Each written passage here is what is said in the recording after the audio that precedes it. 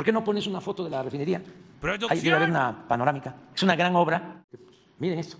Y ya está produciendo alrededor de 150 mil barriles de gasolina. Y yo calculo que para finales del mes ya va a estar a mediados de septiembre con 340 mil barriles. Vamos a estar produciendo nada más en esta refinería 20% de toda la gasolina que consumimos en el país. Y decían que no se podía. ¿Desde cuándo no se hacía una refinería en México? Desde 1980. Y esto los tiene enojadísimos. Porque también había negocio.